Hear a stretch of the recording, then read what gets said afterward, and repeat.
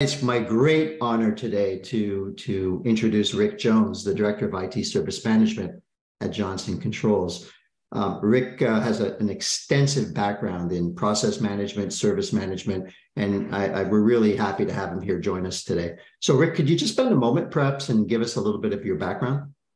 Um, yes, uh, absolutely. So, as David mentioned, I'm currently director in IT service management um, at Johnson Controls. Um, I've worked for various other industries over the years, um, including um, also being a, a, a veteran. Um, so, been around the block, worked in the finance industry for about 10 years, worked in the, the consultancy area for another 13 years and have just recently in the last year started my career in the manufacturing space uh, with Johnson Controls, which is um, I'm very excited about, um, and it, it, ties very directly into um, our our relationship with where we are, where we're starting with Navvia and what we're going to do with process management uh, to support um, all of the IT service management related processes. So. It's been a long time, been a long road, but I'm excited about the future. And um, I see noticed in the in the the chats here that some of the team are on. So welcome, welcome, guys. Um, but looking forward to the dialogue. Um, every industry is different, but fundamentally, we all have the same challenges around process. So very That's looking forward to having that conversation. That's very true. And perhaps you could just take a moment and just give our audience a little bit of background on, on Johnson Controls. Um, sure. Um, and and you know, take take this with a grain of salt because you know I've only been with the company for a year, so um, I'm learning a lot about the services that the company actually provides to their customers. But fundamentally, it is a um, a, a, large manufacturing is one part of it. They they deal with um, smart buildings, which is the future for Johnson Controls, and I'm very excited about. Uh, things about automation, a lot of technology. Um, so we're we're really we really need to get this right and we really need to to focus on process and repeatability and everything that we're trying to do here. Um, they they also some of the services they provide around um, hvac you know um, air, air systems in buildings that are smart um, security fire controls fire detection suppressions um, smart homes even. Um, and and the thing that really drew me to what we're doing is the real focus on the environment right? So uh, a lot of companies are really looking at um, being more green, being eco-friendly. Um, but I can say that you know Johnson, this is an area that throughout the company um, they've really committed to and really driving that forward. So any way we can help with service management uh, and supporting the automation capabilities of the company should be really great. And it, it's going to be fun to be part of that journey, um, especially for me coming into a new a new set of industries, if you will um, to to really understand how the company functions and learn new things, and that's really what it's about. Well, I'll tell you, my wife works in the facilities management space, and she's very familiar with Johnson Controls, and um, you know, she she told me it's a you know great set of products. So we're glad to have you representing Johnson Controls here today. Now, for those of you um, that don't know us, we're Navvia. Um, just a little bit of background on Navvia. Navvia has been in business since 1999, and we started our journey as process management consultants. So we would go into large organizations like Coca-Cola or the New York Stock Exchange and, and help them design, document, automate their, their processes. While doing that work, we came up with a, an idea for a software product um, uh, to make our consultants much more productive in business process management. And that was really the inspiration behind the Navvia Process Designer. So fast forward a number of years, and we're no longer in the consulting space, but we're we're very much uh, dedicated on providing uh, a process management solution, a product that can help organizations be a lot more productive, save a lot of time and money when it comes to doing business process management. If you'd like to learn a little bit more about us, you can read our reviews up on g2.com. Um, and these are just some of the badges that we've earned over the last uh, last period. So before we actually get into the conversation today, I just want to frame it. Um, what is business process management? So business process management is a set of skills. So that's the various people and resources and methods like met- methodologies, practices that companies use to examine their end-to-end processes and make them better. And it's it's so important in today's world, you know, with so many organizations going through digital transformation. It's really important to have a good handle on what your processes are today and where you want them to go so you can better you know better streamline better optimize and, and drive those cost savings. And when you look at business process management as a practice there's there's a number of key areas that fall under that that discipline.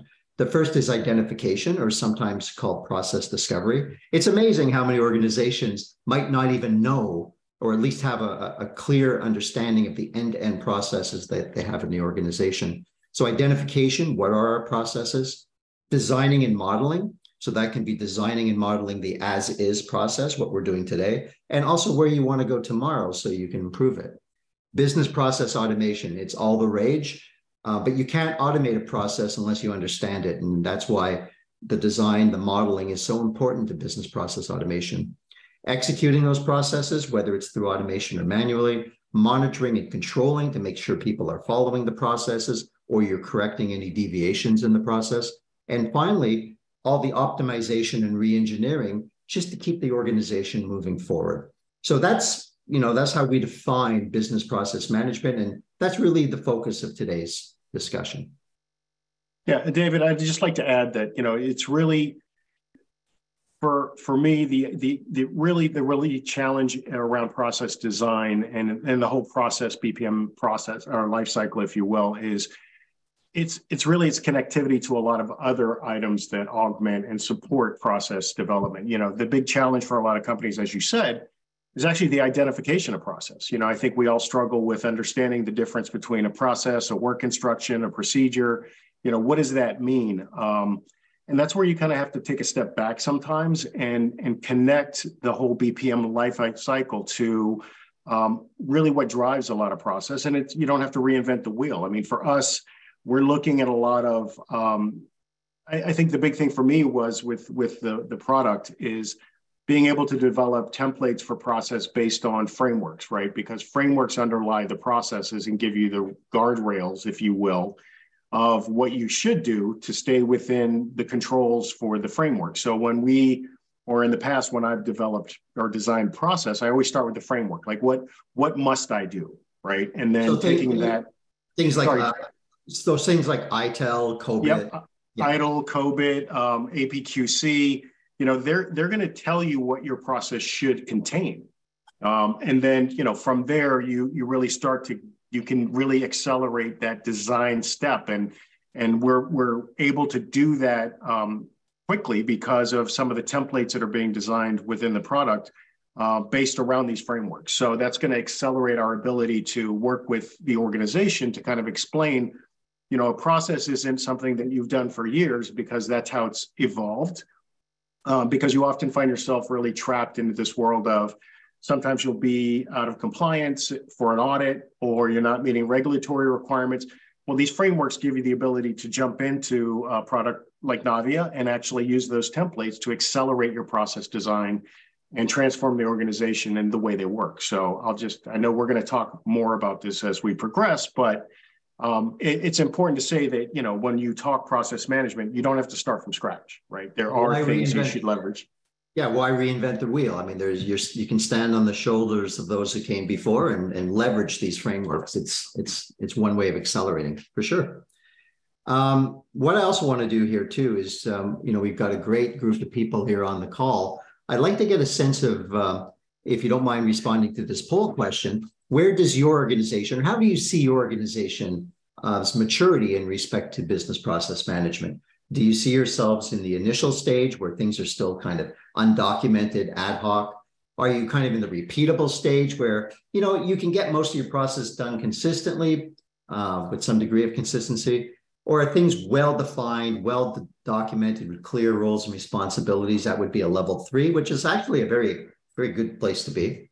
Or have you gone beyond that and you have a lot of uh, work around managing and monitoring your processes and continually improving them? So if you just take a moment and respond to the, the quick straw poll here, we'll be happy to share the results. I'll just give it, um, we got 48, 50% of the people have responded. Just give it another, you know, 10 or 15 seconds give people a chance. And um, we'll be able to share how we're so interesting results so far. We got 72% of the respondents res Don't be shy. It's a button. Yeah, it's just real good. I, I think we're in a, I think we can go ahead and share the results here now. So share results. Um, now I'm, do you guys see those on your screen? Yep. Okay, great. So it looks like um, about 30% of you said you're in that initial phase um, where, um, you know, things are still in a very ad hoc space. Uh, 40, it looks like the majority, 41% of you are repeatable. Um, about 23% of you are defined, where you have good standards in place. Interestingly enough, uh, 5% in managed, and nobody really at that level five where things are being optimized. So this is just wanted to do this to get a sense where everyone's at, but also it's um, you know it's really important also to understand where you sit because uh, some of the things we're talking about today might help you move up levels within the um, within this kind of maturity level. All right, well, let's get into the meat of today's conversation. Um, so we're going to talk first about implementing a process management foundation. So Rik, what do you think some of the foundational elements that need to be in place to support a process management program? Um, I, I, think we touched on this a little bit, right? It's it's the collection of, uh, you know, where, where, are you going to start, right? So you've got two ways of looking at it. There's the frameworks, which I talked about briefly. Um, those are going to give you more the you know where, what does good look like where do i need to be um, and and i think from that point from a you you really need to start with the collection the assessment of what's in the environment currently right are we following at a high level the basics of let's say you know whether you're talking incident problem change um, any life cycle process you know how do we do business today and and getting that captured documented um, and understood. Uh, but you need to have um, an area of responsibility for that. And I think that's key um, when you're talking about processes that need to be leveraged across the enterprise. And, and I'll use the enterprise term very loosely because you could be a small company and have the same, the same thought process around doing it. Um, so, you know, for us, it's about understanding what's in the environment today, how it's being done. Uh, and what you'll find is you'll see du- duplicative process all over the place. So, you know, what, I'm discovering across um, several areas is that everybody's doing their own version of a process that should be centralized. Um, so, how do you you identify that, and then how do you really start to build that architecture, if you will, around how do I begin to consolidate process and standardize it and get into the design phase? So you don't know what to work with until you actually go through you know identification which i think was the first the first point there right? What's what where are we at? What do we have?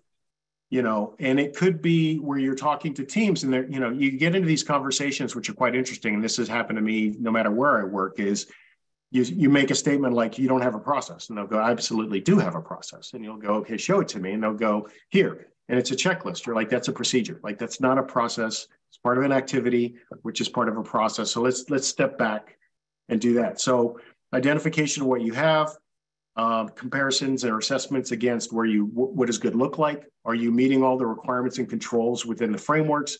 Um, and that's really the foundation of where you want to begin the journey. And it is a journey; it's not going to end.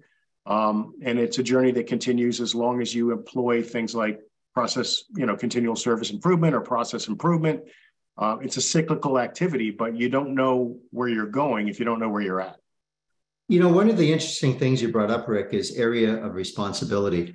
You know, so you, you so first of all, you said you go and talk to these different departments and you find out people are doing the same process, but they're they're doing it independently in their own area.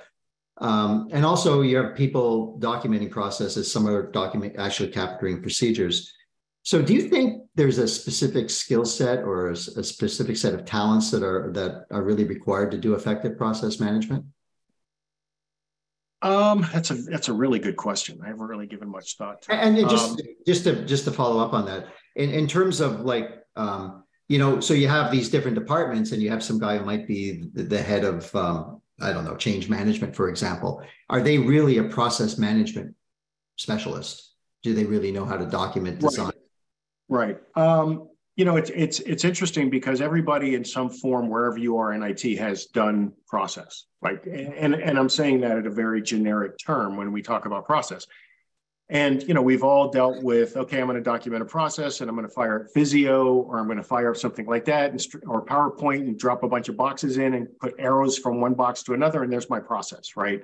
Um, I, I think everybody can learn to do process design, you know, using you know BPMN and and and doing it, you know, the way a a true process designer would do it. Um, I don't think it's a unique skill, but it's a skill that we all believe we have that could be matured. Um, and, and I think you'll see that a lot when you are able to take some of these individuals who are running their own version of a process. But I think centralizing it or having a body of governance who are setting process standards, process design uh, controls, process inventory, process tooling, maturity assessments. What we found in larger enterprise organizations is that you need a body to provide that level of governance over how the organization designs process. You could distribute process design, um, but there needs to be some level of compliance applied to that or governance applied to that so that everybody's doing it the same way with the same tool in the same location. So I don't think it's necessarily, I guess it's, it's the answer is yes and no, right? So it is a, it is a skill set. I think it's a skill set that everybody has the ability to develop or mature. Mm-hmm. But I think to your point, though, it's really important to have a central area of responsibility to, to provide assistance when someone needs it, to provide some of that training, some of that guidance, and and also yeah. make sure things are improved and monitored. And, and I think we're gonna I think we're gonna talk about that one a little later because I think I, I, mentioned something in terms of my perspective of how this gets run um, that was interesting to you, and I know we're going to talk about that in, here in a little bit. Um, but the, the other foundational points that I want to call out here are, you know, we talked about skills, right? Process design skills and how do you mature that and, and identify that in people. I think tools is another big foundational element. Um, mm-hmm. I talked about the fact that, you know, back in the day, we used to use, you know, Visio for the for the flows. We used to use Excel for the activity descriptions and definitions, and we used to use Word to pull it all together and copy and paste everything into a process design doc or a process definition document. Um, very cumbersome, which is you know, getting to a point where now we can leverage Navvia, for example, as all of that, as our process repository, as our workflow designer, and it, you know, as our as our attribute collector to produce a process definition document at a click at the end is going to save a lot of time. Um, a couple other things to note is leadership support.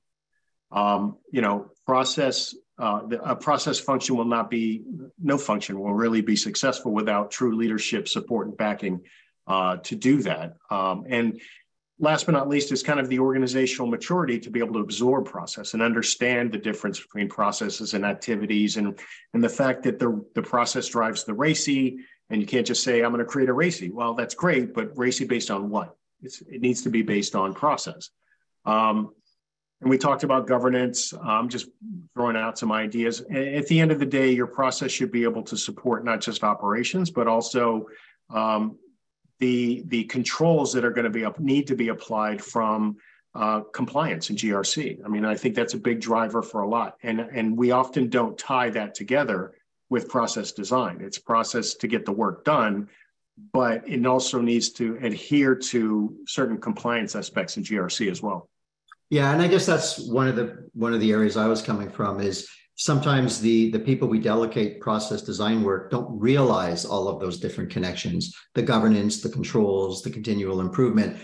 You know they focus on you know they'll do a great job of of, of drawing the visio or the you know putting it into navvia and creating the flowchart but it's those other aspects that are so important to the overall process management program Really good. Yeah, we've kind of talked about that a couple times here, right? Like, so process design is just like any other IT function. It is a it is a function within an organization, but it has uh, interconnectivity with the entire organization, and being aware of that um, will often make you think differently. You know, I use the analogy of a Rubik's cube, right? You know, a lot of times if you're working in a function, you try to solve the Rubik's cube in one direction, uh, but until you pick it up and actually start to turn it around and look at all angles you can solve that faster. And I think that's a good way to approach this as well as any function.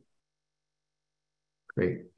So one of the other things um, that we've seen, at least I've seen from my careers, is a lot of resistance to process work. And there's always a lot of excuses, right? Well, we, you know, we're too busy, we don't have time. Uh, wow, we can't come to all these different workshops to, to figure out what's going on, or why do we need to improve? We're doing a great job today.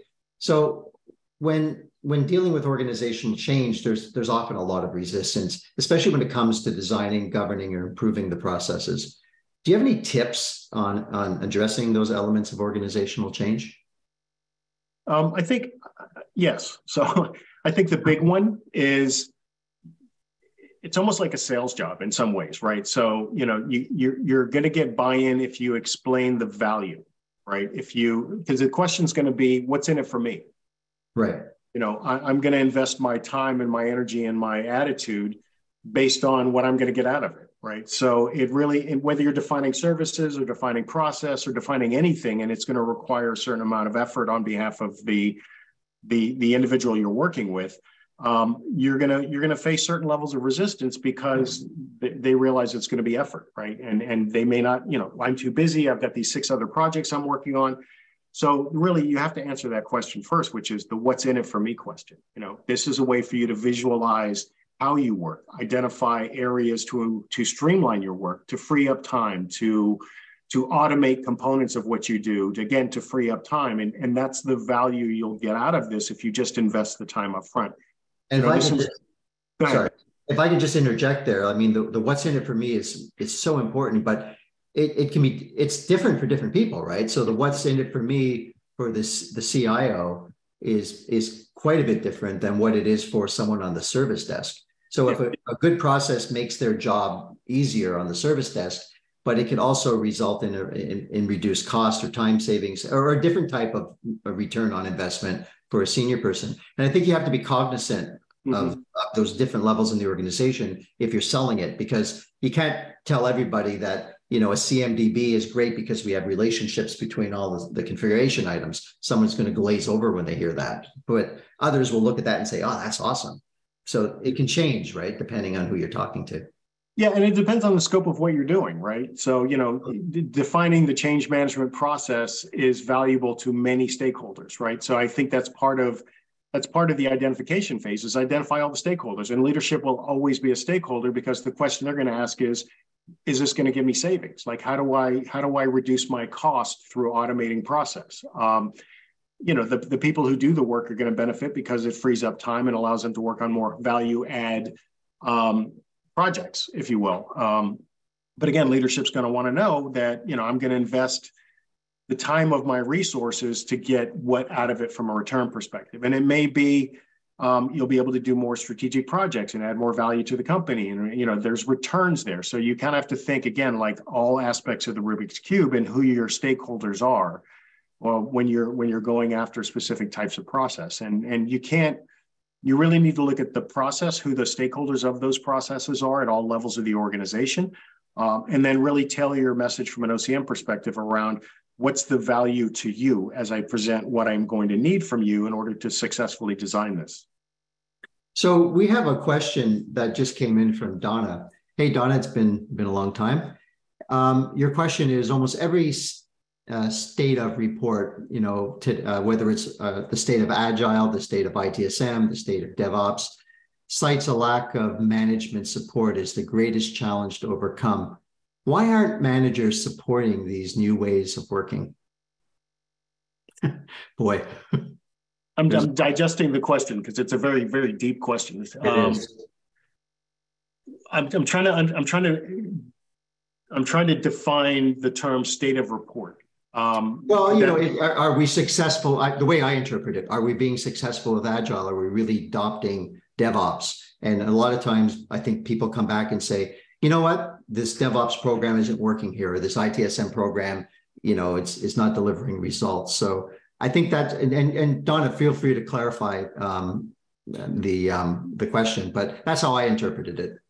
Yeah, so I, it's an interesting question because I think you know again we get into the components of process, right, and and what those components deliver to to defining the state the state of the nation, if you will, for these various frameworks and process areas, right. It's it's no different than being on a call and having somebody kind of say, well, I you know in, in order to be successful, I have to build a RACI and my my pushback is, well, you can't build a RACI if you don't know what the activities are and who's responsible, accountable, consulted, or informed. for that particular activity. Likewise, another component of process is metrics, right? What are the metrics you're going to define, the KPIs, the OLAs, the SLAs for specific activities within a process? If you're doing true process design effectively, you're going to identify or you need to remember to identify those metrics where you can have the conversation around here's the state of the maturity for our agile processes for leadership. But at the same time, I think, you know, IT been in a long time as we all have, right? Is we've evolved from in the last 30 years, IT's evolved from a very transactionary, um, transaction driven organization. I get a ticket, I do the work, I close the ticket, I move on, right? And management managers um, we've all grown up in that environment where I have a queue. I mean, I need to plow through that. I had this many tickets last month. I have this many tickets this month. I'm doing a great job because I've reduced the number of tickets. That that managerial responsibility of reporting has to shift to be more around um, things that we've talked about, right? So, am I delivering value? Am I hitting my KPIs? Where where am I slowing down? you know, you can introduce things which we'd love to do as well, which is introduce things like take Six Sigma seriously. You know, really dive deep as you can into these processes to identify areas that are truly going to improve and apply the metrics to that. So I think how managers manage um, is transforming. And managers who do it well are those managers who have managed to a lot of manager terminology in there, but they've managed to gr- grow their own managerial skills to look at things like KPIs and metrics and measurements and look beyond the queue, right? And go deeper into the assessment of is my process actually being adopted? Is it effective? And how do I report that back to leadership, whether it's a success or I need to shift gears? You know, you, when we, um, just before the webinar started, you know, we were chatting, you and I, and uh, one of the things you talked about was you know, the sales pitch. Um, and I, I think a lot of times the the people who are trying to implement these process improvement programs and the WIFM, it comes into the what's in it for me as well. The people trying to implement these programs aren't doing an effective job of really selling the value and where the return on investment is.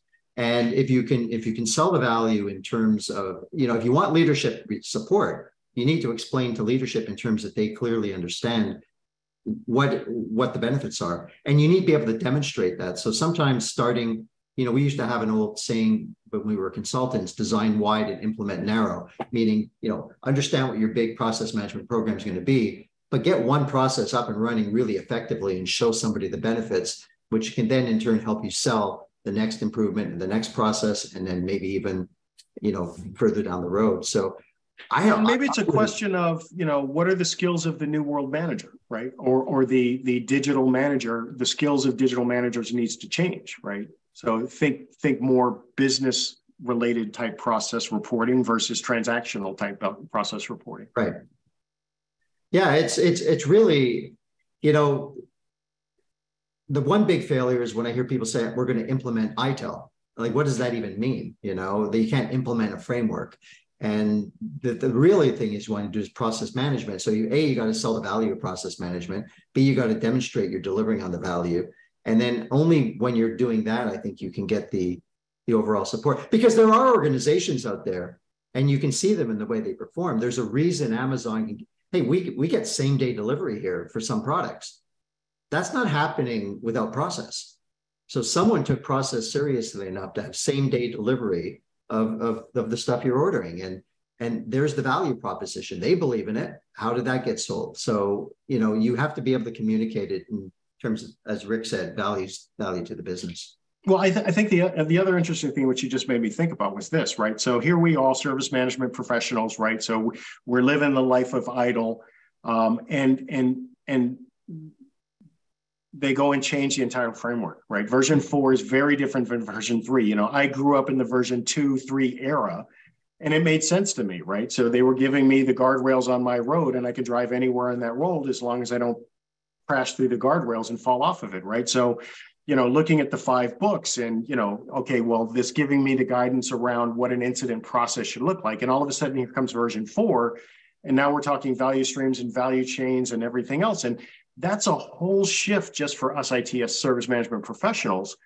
But what's happening now is we have to then figure out how do I take this new way of thinking around services and value streams and processes, and how do I get an entire technology organization to understand that? Yeah. Right. Because when I now I'm coming to have a conversation around process related to value stream, you know, if I if I got deer in headlights before with version three, I'm really going to get deer in headlight version now because I'm trying to learn it. So you know, I think our biggest challenge, which we're going to experience, and I think all companies are going to experience, is how do you?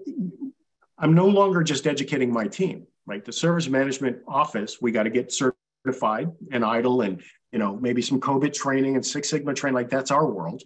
But now we're forcing that out into an organization that are getting different skills, right? So they're focused on Azure and cloud development and agile and all these other frameworks but now we're trying to apply something they don't really understand. So now we have to take on the role of teachers, right? And and not not teachers, but we have to change a culture that is much bigger than just my service management world. Um, and I think that's going to be interesting, especially when you plug process into that. Yeah. Well, you know, Susan uh, just made a comment. Um, when it comes to change, it's about selling, not telling. And I think there's a there's there's a lot of truth in that statement because you know, we in IT, you know, take we're very, you know, people in IT tend to be very technology focused. And um, you know, a lot of people are even skeptical in IT can be skeptical of, of sales. And they, you know, they just want to talk about the facts and the programs. But we're not the best communicators sometimes of, of, of selling that value upstream. So, you know, there's a process there in ITIL, business relationship management, where the skill sets of that process are really more about communicating value and, and, and demonstrating the effectiveness of a program. And I think we need to put more focus in in that, you know, selling, not telling, but but backing up the selling with real facts. Like, you know, here's how this is improved. This is the return on investment that we got from it. But we're not, you know, I'm not sure if IT people are always the best communicators. There's another question here, Rik. Um, so anonymous, uh, can you provide some examples of KPIs you've used to measure the function of business process management outside of the specific KPI being measured in the process being designed optimized? Um, yeah, that's a that I don't I don't have off the top of my head examples, but when we apply to a let's say if I'm having which I'm going to do right, we're going to have a function for process management, right? So there's a lot of KPIs in that space that we're going to have to define, and it all revolves around the governance of process. Um, and you could talk about things like you know how many you know the the i want to i need to improve x percentage of process uh, across this domain um, annually or i need to do uh, improve process process process assessment mature process maturity level of process x domain uh, by a certain percentage right so we're going to go through a process where we're going to have to start defining those KPIs for this function uh, around that's going to be operating within the BPM space. Um, and it really, that conversation is going to be driven as well by what leadership wants to see for KPIs, right? And, and that's another conversation we need to have is understanding what's important to leadership, what aligns to the strategy, how this function supports that will drive the KPIs we will develop in that space.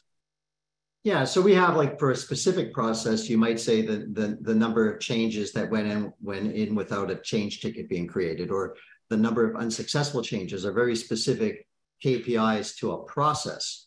But you know, when you want to look at the program, you know, yeah. um, if you if you look at the from a program perspective, how many processes have we you know have we ensured or how many processes have we assessed this year to ensure that um, you know we're tracking improvements? or have we have we looked at the overall repository and looked at how how frequently those processes are updated? Might have 30 processes in the repository, but uh, you know, you know, 28 of them have not been touched in three years. So there are program metrics that look yeah. like across, and then there's specific metrics that look in into. But I think you know it's around it's around governance, it's around continual improvement, it's around you know making sure your process that it, the consistency is going across. I think those would be some of the things that would address the broader program as opposed to specific. Yeah, and in the identification phase, which honestly is where we're at, right? It's it's looking across the enterprise and saying, okay, I've got 10 different units running their own change processes. So maybe one of my governance KPIs is to say, you know, reduce that by X percentage this year to consolidate process into a single uh, process model and tool. Um, so there's, you know, again, it's it's what is what is important to leadership, right? Uh, and and I think a lot of what we're doing here is with all of the different services that that JCI honestly runs around the world, um, and we are talking global here. You know, we've got a, it's going to take time to do an inventory and assessment across the organization to identify things that we present back to leadership to have them help us define those KPIs that we can measure.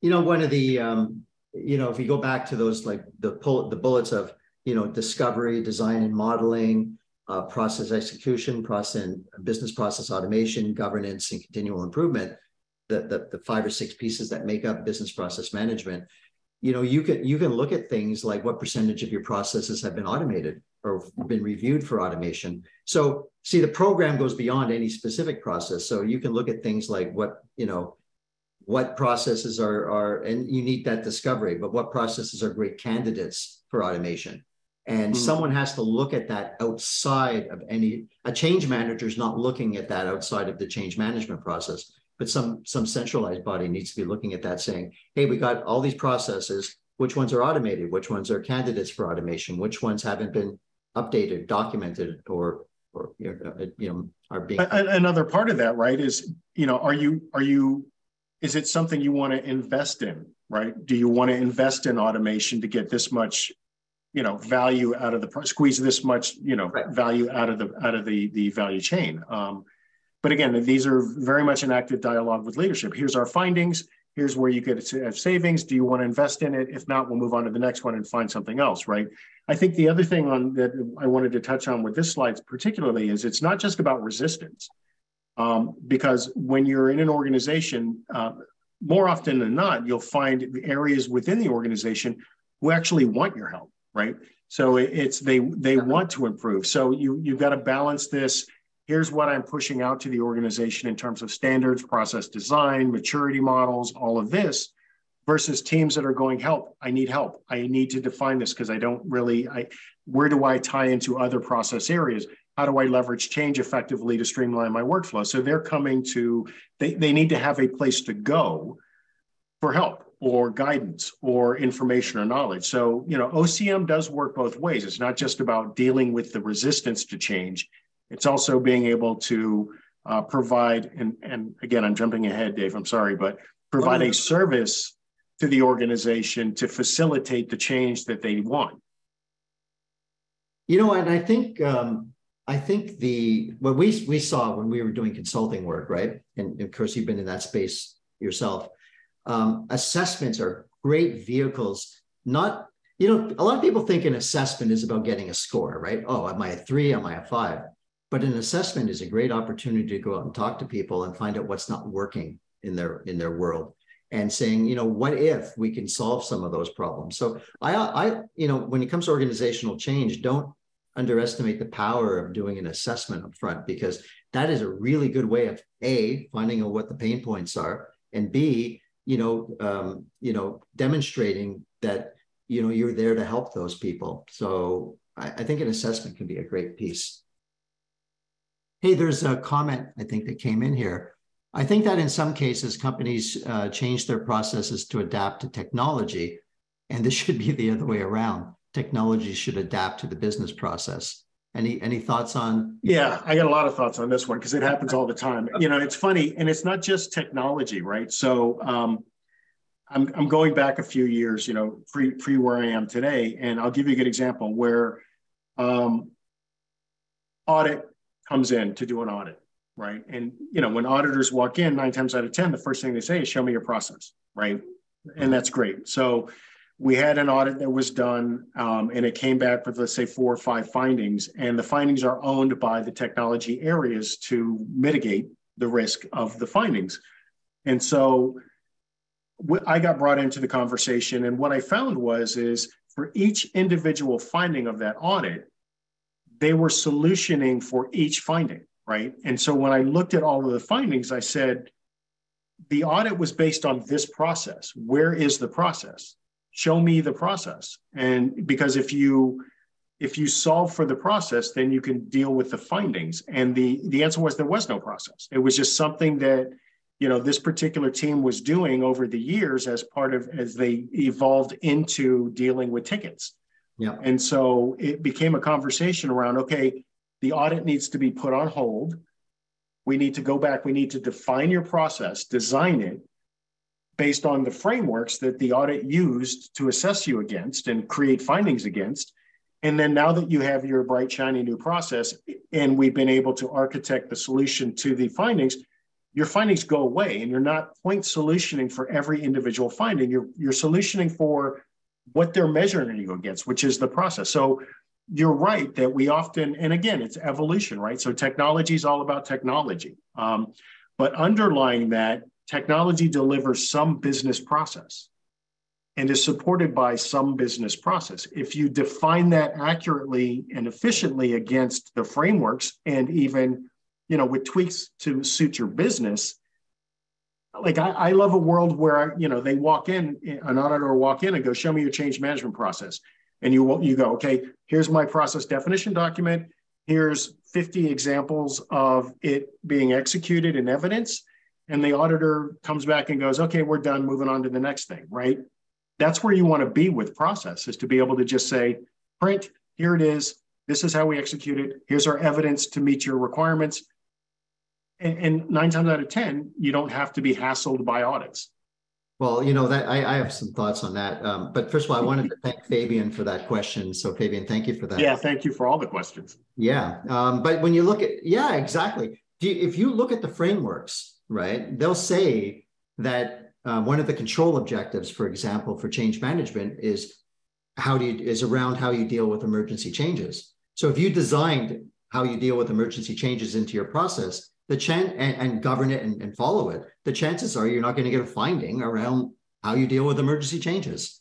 So, you know, if you work with the frameworks and you work with things like COBIT, you have, and maybe you sit down with your auditors as part of the process. They're a stakeholder in the design of the process. What do you want us to solve for? You'll have a much better chance of success in passing those audits.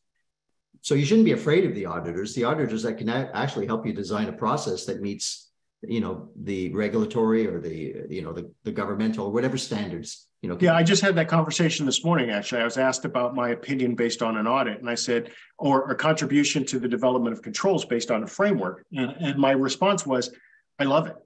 Like i don't I, I want every control that that framework provides i want to see it because i need to make evaluate my processes to make sure that the process aligns to the controls because if you audit me and you have findings, I love findings because now it allows me to go back to leadership to prioritize my workload and and and risk to to develop process to mitigate that that finding right? So audit uh, a lot of people fear audit. I love audit because it helps enhance and mature and normalize process. Yeah it's part of your continual improvement um, great comment in here from Murray. Uh, Murray says tools are cool, but process rules. Um, your tooling should reflect organizational decisions around process design.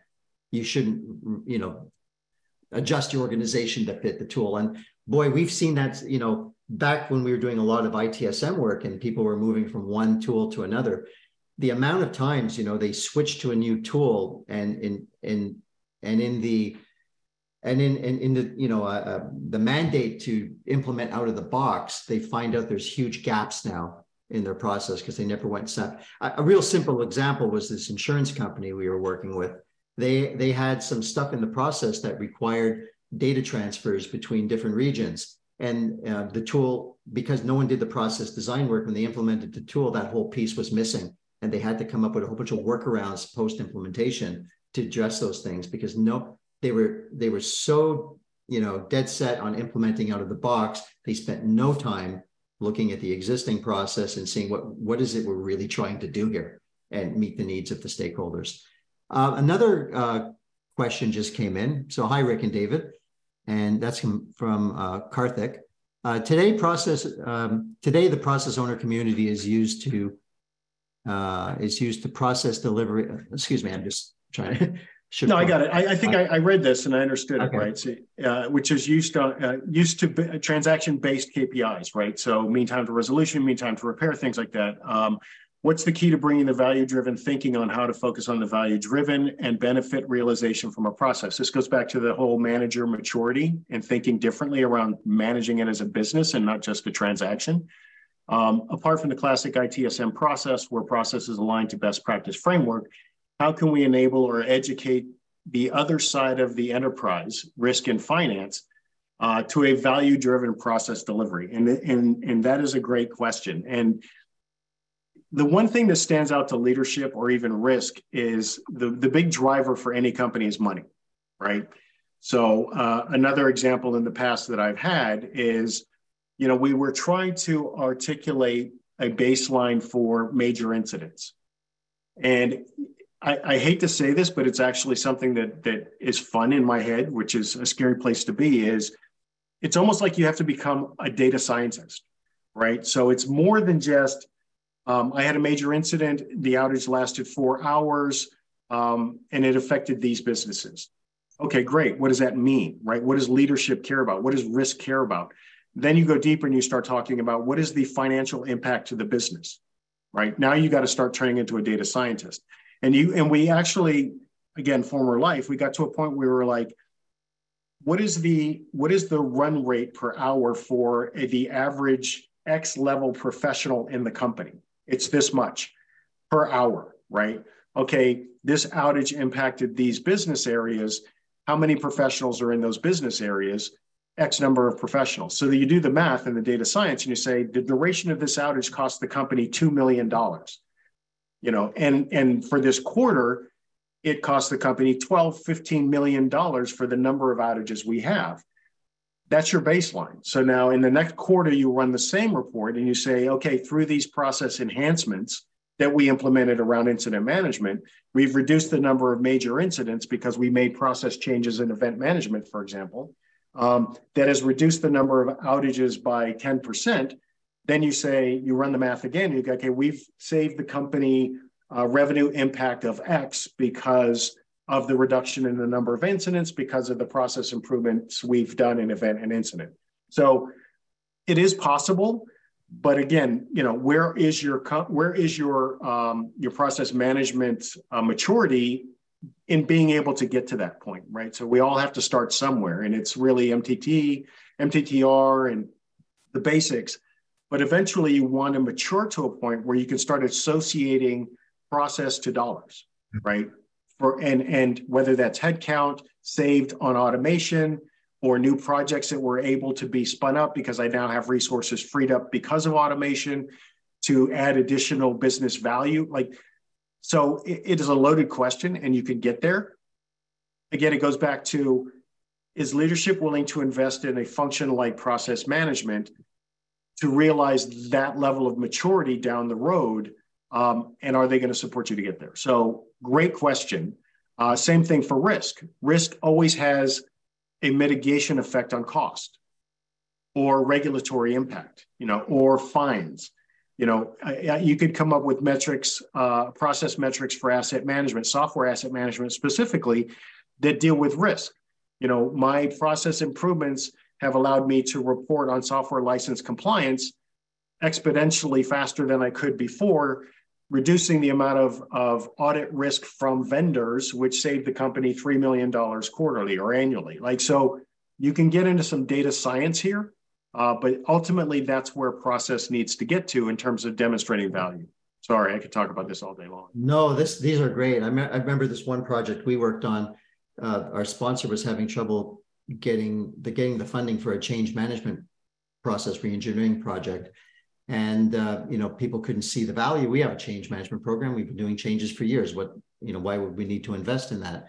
And we just did a, a, really simple, you know, almost back of the envelope analysis that said, well, what are the, you know, we went around and, and interviewed a number of the senior management and asked what are some of the most significant major incidents that you'd seen over a past period of time.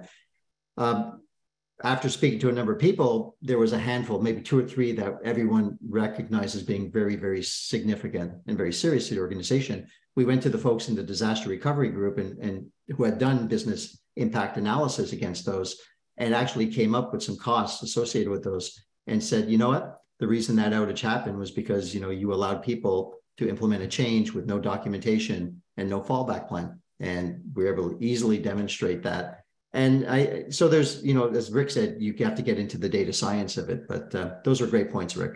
One more question is, um, is Navvia looking to integrate with process mining products uh, that could accelerate uh, process design and improvements?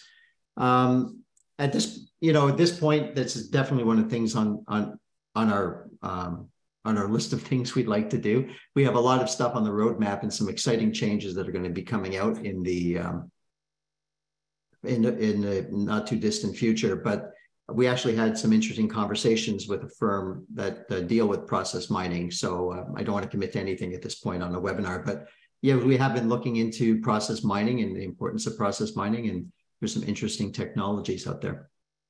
Um, all right, I think we'll move on to the next uh, the next question here. So uh, I think we've talked about a lot. Yeah, I was just gonna, I was just yeah, going to say I think we've covered yeah, so uh, uh, communicating the bottom line benefits, there's a cost associated, associated with process management, people's time, resources, tooling. So I think we really covered this this topic. Uh, is there anything else you want to add to communicating the return on investment around process management?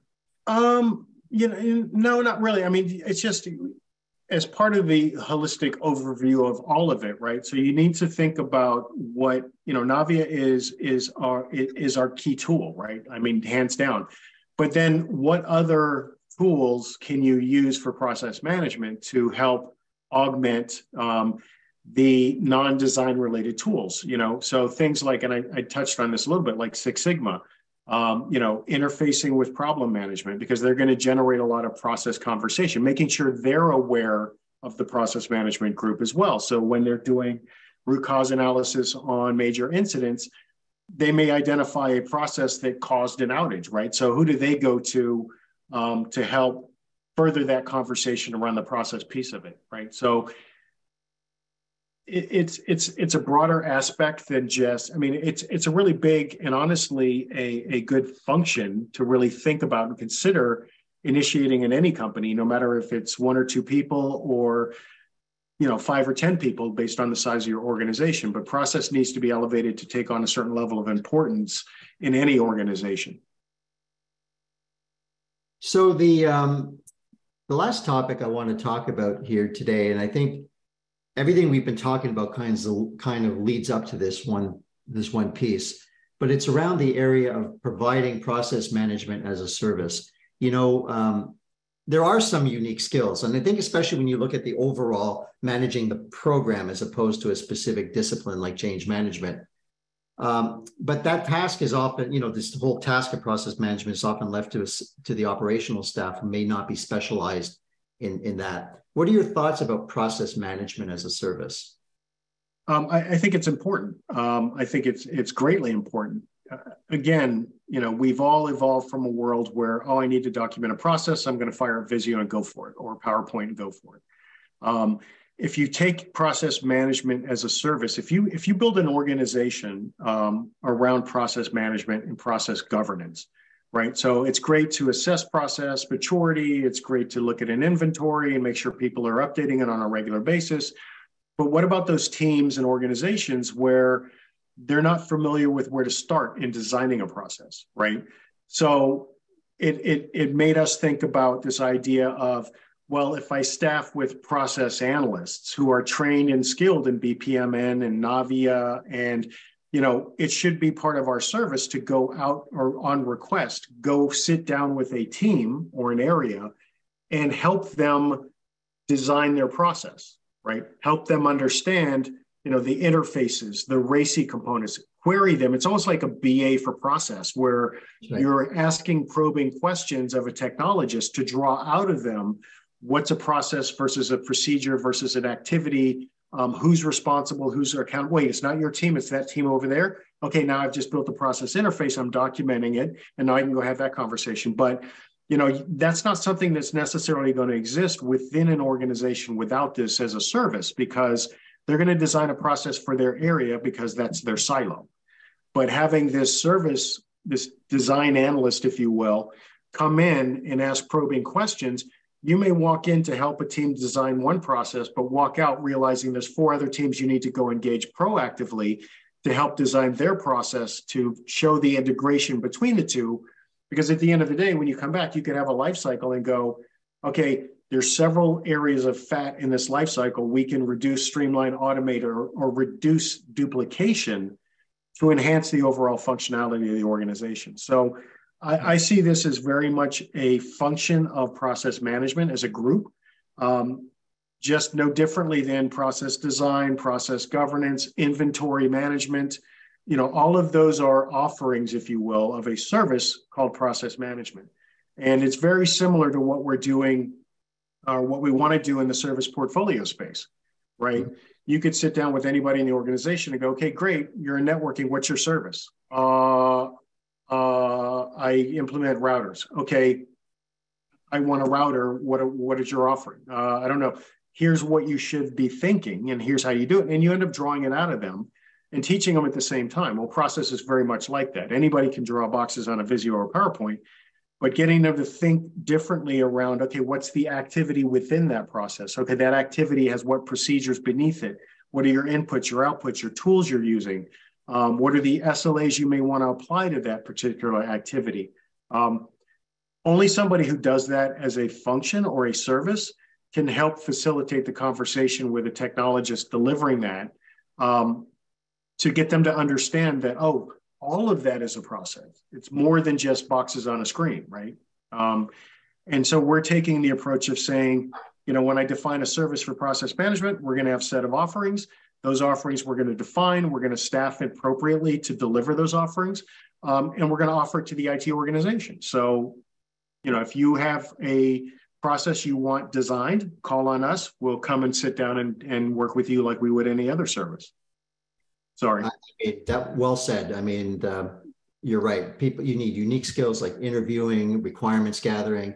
There's a lot of skills that are unique, and you could really, when you have those skills combined with the subject matter expertise of the process owner and the process manager, you're going to do a great job.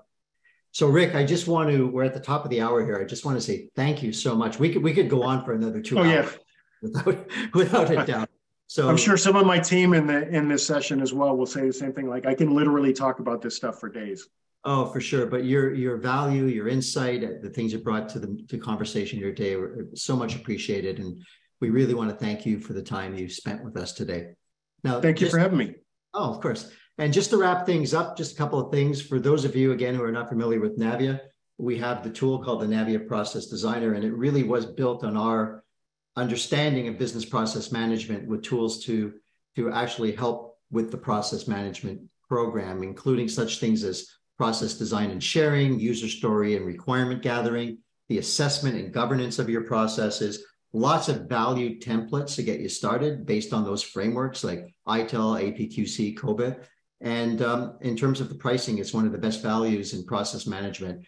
You know, it's got the right set of tools at the right price point that could really help accelerate your uh, program. And if you're interested in looking at Navvia, you can schedule a, a personalized demo. You can just go to navvia.com slash contact and we'd be happy to set something up.